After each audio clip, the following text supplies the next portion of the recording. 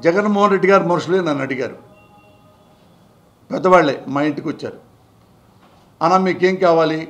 మీకు ఎంపీ కావాలా? రాజ్యసభ ఎమ్మెల్యేనా? మీకు మీరేం ఎక్స్పెక్ట్ చేస్తున్నారు? నేనేం ఎక్స్పెక్ట్ చేయట్లేదండి. నాకే పదవులు వద్దు. నాకు జగన్ గారు ఇష్టం.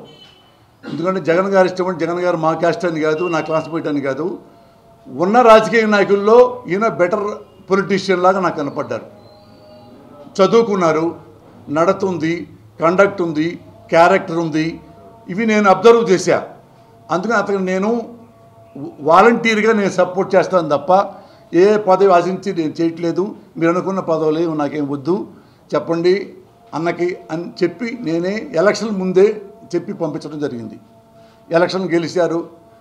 ఏదైతే నేను అనుకున్నానో మనస్ఫూర్తిగా జగన్ గారు ముఖ్యమంత్రి కావాలని ముఖ్యమంత్రి అయ్యారు. అదే నేను చాలా సంతోషంగా ఫీల్ అయ్యా.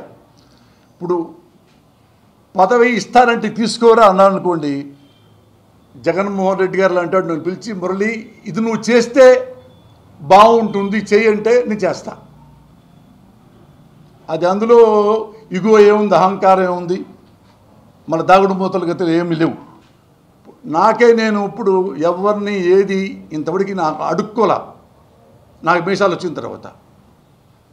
సినిమా ఇండస్ట్రీలో కానీ మరో చోట కానీ మరో చోట కానీ ఉద్యోగం విషయంలో కానీ నేను ఎవరిని బెగ్గింగ్ చేసిందే లేదు. ఎవరైనా ఈ పని నువ్వు చేస్తే బాగుంటుంది మురళి. ఇది నువ్వు చేసి పెట్టవా ఇది నువ్వు చేయవా ఇట్లాంటి అయితే ఐ కెన్ డూ అంతేగాని ఎగబడి నా తెలియక ఇండైరెక్ట్గా నా పేరుని చెప్పించుకొని ఇలాంటి సత్రం పనులు నా జాతి కాదు. అందుకని జెన్యున్ ఎవరైనా మురళి మురళి ఇదిగో ఈ పని అయితే మురళి బాగా చేస్తాడు.